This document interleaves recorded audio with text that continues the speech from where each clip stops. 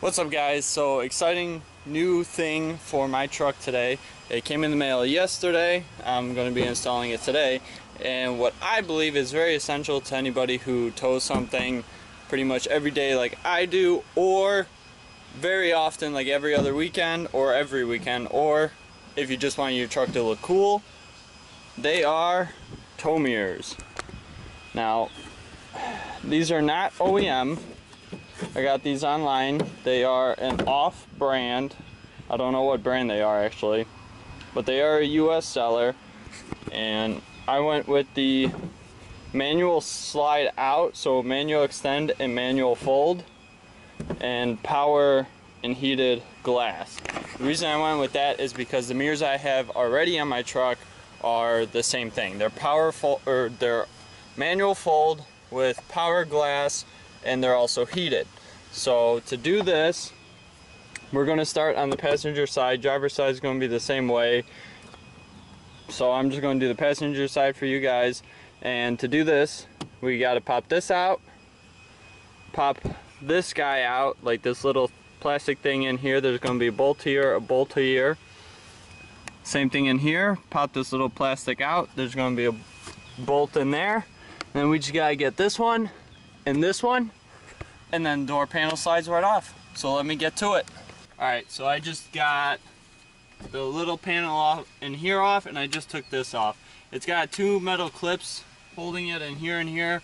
Now, you're going to have to use a little bit of force, but otherwise, that's not a big issue. And then the clips here, all you got to do is push the little tab and they slide right out and then this is out of your way. So let's put that aside and continue working on.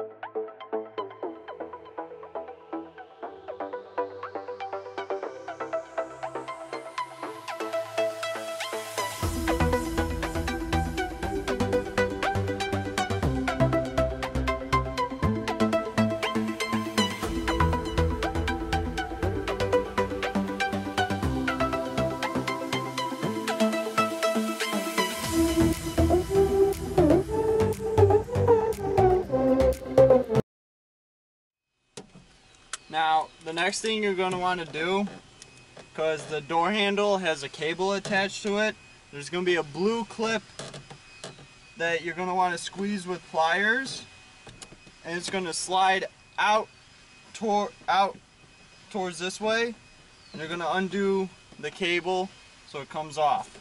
This way, the whole door panel is off of the truck. So let's set this aside and continue on. Now next thing you're going to want to do is peel back this rubber plastic membrane thingy. Like my technical terms, so do I.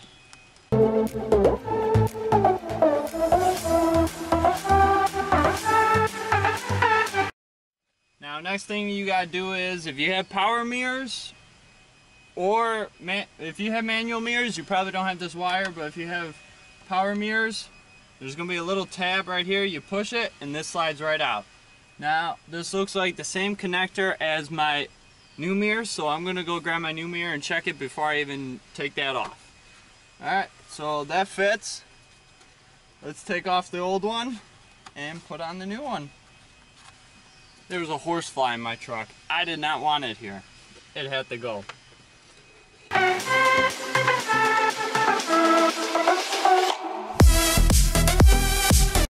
Make sure to hold the mirror from the other side as you're taking off the last bolt. I took off the bottom two and just loosened the top one.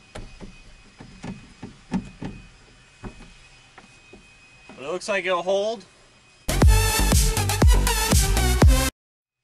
Alright, the old mirror is off. This little dinky one that I think is pointless for any big truck is gone. So let's go put on the new one and see how it looks.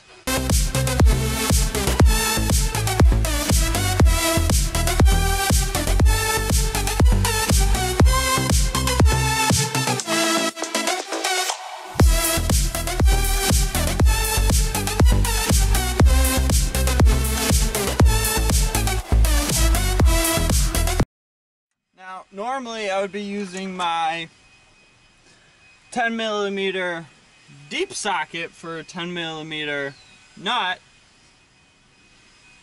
but I lost it a long time ago and I never replaced it because I was hoping I was going to find it just like I, when I lost my 10 millimeter short socket.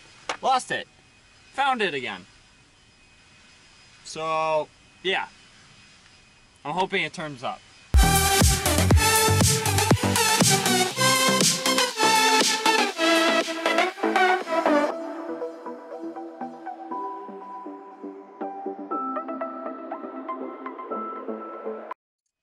Alright, the mirror is officially bolted on. All we gotta do is plug it in and put the panel back together.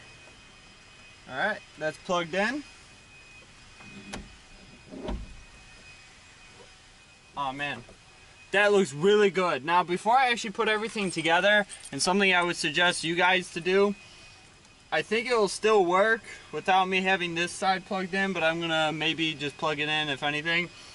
I'm going to turn the truck to the on position and test the mirror out to make sure it all functions just in case I need to return it or anything doesn't function like the turn signal LED, the puddle light on it, and the power mirror itself. So I'm going to go do that now and then put the panel back on. Alright, it all works, so does the puddle light. So let's put it all back together, shall we?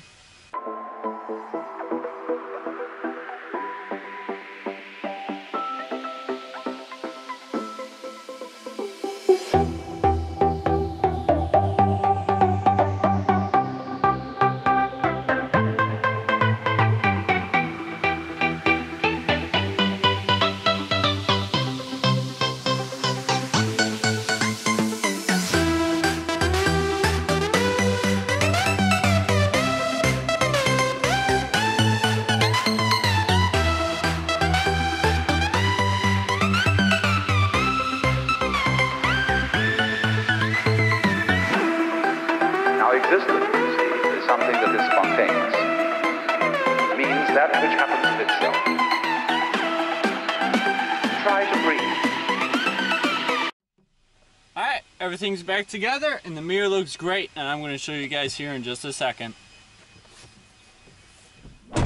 Alright, so I am really happy with it. I love it a lot. I'm liking it so far. It makes the truck look more rugged and tough than it already is. So here it is. That is the passenger mirror all installed. Now, I don't really like the fact that this sticks out down here. I know I've heard people complain about the foam that comes with some of these mirrors that the foam is actually thicker than factory. So, but I just wanted to show you guys what it looks like on the truck right now. That's what it is. And that's what it was. So I did used to have these markers here, but I don't think they actually did anything on the truck. No, they, they're just reflectors because you can see the lights are on on my trailer and my markers are on. And the puddle light. So that'll be nice at night when you're walking up to the truck. So it shows anything on the ground if somebody dropped anything. But otherwise, I am super happy with this.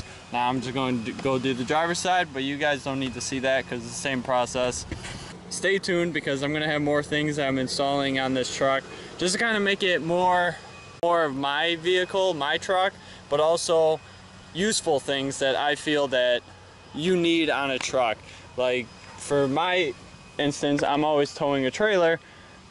I wanted tow mirrors because I the uh, old mirrors I felt were too small and too close to the truck so I couldn't see much behind me and I was always whenever I would turn make turns or back up there was always a blind spot that I would get to where I'm like I can't see it through the window and I can't see it in my mirror so I'm just gonna have to guess and that's usually when you hit things guys is when you guess so otherwise I will see you guys laters.